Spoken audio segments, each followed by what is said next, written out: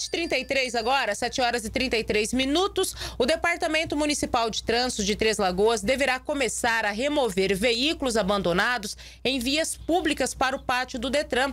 Vamos entender melhor na reportagem do Israel Espíndola. A Prefeitura de Três Lagoas adquiriu oito posicionadores hidráulicos com capacidade para suportar 680 quilos.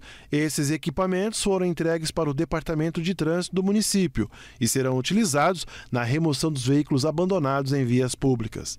A remoção será feita para cumprir a Lei Municipal 2748 de 2013, que institui que qualquer veículo automotor com mais de 30 dias abandonados em vias públicas de Três Lagoas deve ser removido. A Prefeitura realiza uma notificação ao proprietário, caso seja possível identificá-lo, e caso este não recolha o veículo, então é removido para o pátio.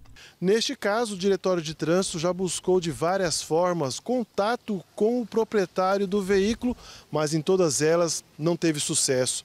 Abandonado há mais de 30 dias, estacionado na contramão, é passível de ser recolhido para o pátio do Detran. De acordo com o último dados da Prefeitura de Três Lagoas, o número de carros abandonados há mais de dois anos totalizam 200 veículos. Dados que impulsionaram a compra do posicionador hidráulico, pois muitos desses carros abandonados estão travados ou sem rodas.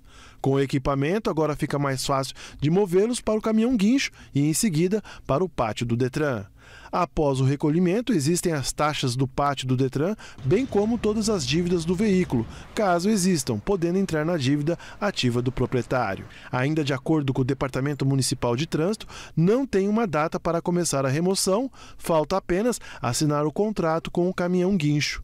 O Departamento Municipal de Trânsito ainda informou que um conjunto dos posicionadores será entregue para o pelotão de trânsito da Polícia Militar.